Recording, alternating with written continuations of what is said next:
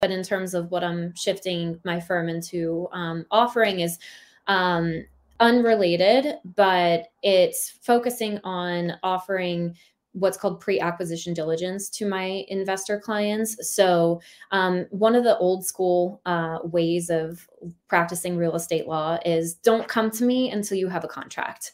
Hmm. And um, usually by that time, you have an investor who's locked in a price and they kind of have an idea of like what type of, you know, diligence they'll be doing on the property.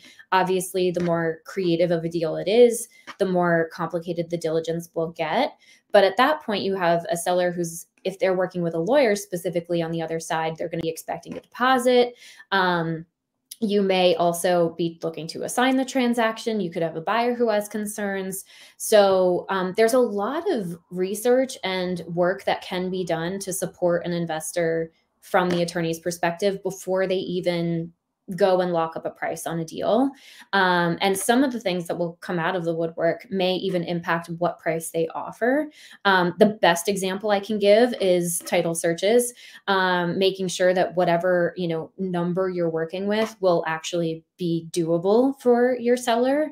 Um, like, can do are they going to have to bring money to the table? Because that'll usually kill a deal. So that's like the most basic.